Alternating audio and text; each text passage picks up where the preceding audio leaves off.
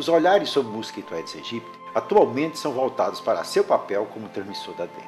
Muito se conhece dos hábitos e do ciclo biológico desses mosquitos, porém pouco dessas informações chegam às comunidades.